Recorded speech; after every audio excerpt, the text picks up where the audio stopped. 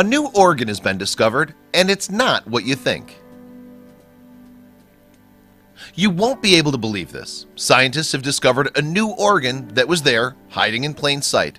The discovery is significant regarding knowing how cancer spreads in the body.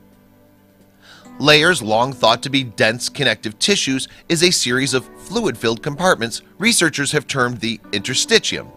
These are compartments that can be found beneath the skin as well as lining the gut lungs, blood vessels, and muscles, and they can all join together to form a network supported by a mesh of stable, flexible proteins. The new analysis, which was published in scientific reports, and the idea is to identify all these compartments as one organ as a whole and try to understand the function. The most incredible thing is that the interstitium has been there all the time, although it's one of the largest organs in the human body. The team that discovered the organ tend to think that it acts as shock absorbers that can protect the body tissue from damage. They noticed cavities that did not match any previous known human anatomy and approached the New York University pathologist Dr. Neil Theise to ask for his expertise. But why have they missed the organ for such a long time? It seems that traditional methods of examining the body tissues because the fixing method of assembling medical microscope slides involves draining away fluid therefore destroying the organ structure. The organ was considered for years to be only connective tissue. The connective tissue wouldn't be anything new, we've known about it for a long time and how it functions. But at the same time, connective tissue typically has very few cells and instead is mostly constructed of various cartilage and other fibers that together form a stable structure that holds our organs in place. This is not what the interstitium does. Having come up with this discovery, the researchers also discovered that the structure is not only found in the bile duct, but also surrounding a lot of vital internal organs. The interstitium has something particular. The researchers saw that between the spread out cells was a series of fluid-filled sacs. A set of healthy but flexible tissues filled with functioning proteins connected all these sacs. This, the researchers deemed, wasn't the same as other connective tissue found throughout the body and thus could be its entity which they dubbed the interstitium.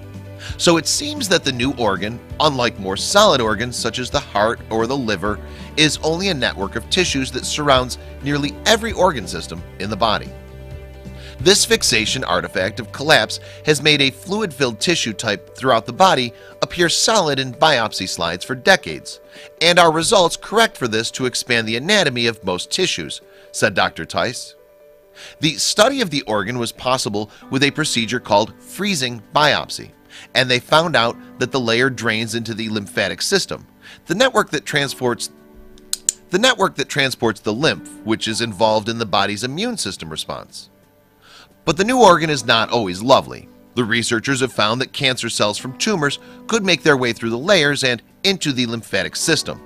While providing a large highway for the cancer cells, the interstitium may be one of the causes of cancer spreading around the body.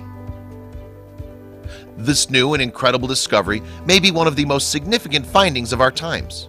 The new organ may shed some light regarding cancer treatments and recovery. The work is cut out for the scientists to know how the new organ works and how we can also make it work in the right direction towards human health.